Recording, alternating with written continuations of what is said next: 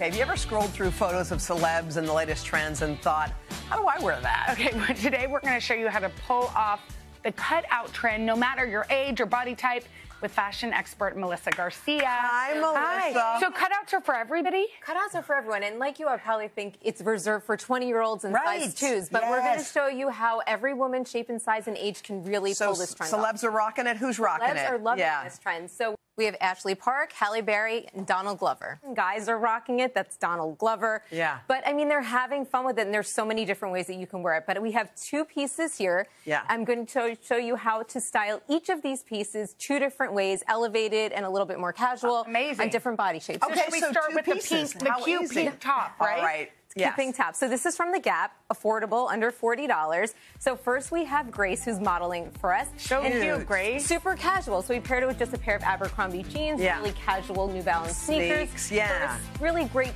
street style look. And this again, it looks like it's a cutout, but it actually is more of an illusion of a cutout because it's like a square neck, but it just has the Oh, tie. Oh, the tie. So there's a lot of negative space, and you just want to pay attention to where the cutout is and how big it is. Uh-huh. Like Yeah. that's Right. what makes it wearable or not. about Barrett? And then we have Barrett because usually we don't think cutouts are for the office, but this is an office look. This is something really Two-piece, classic, absolutely. right? It's a monochromatic look. They always look polished and tailored and refined. The pants are from New York and Company, and the Mm-hmm. top is from the Gap, and it just pulls together in a really classy way. You can go to work in that. Beautiful. Yeah, right? Ladies, Thank you, That's guys. Beautiful, beautiful. Okay, this is the dress Oh, yeah, we that wanna have see. Shanice and Angela wearing. Yeah. Come on out. Yes. So obviously, we, the first Yeah. one is kind of the night look. Yes. right? Yes, this is the night look. And here again, so we want to pay attention to placement and size. Since the placement's in a little bit more of like a promiscuous place, we kept it a really small slit of a cutout. So a really little touch of a cutout. This dress is from Abercrombie. It comes in sizes 0 to 20, cute of regular, petite, and tall. So there's tons of size options for everyone.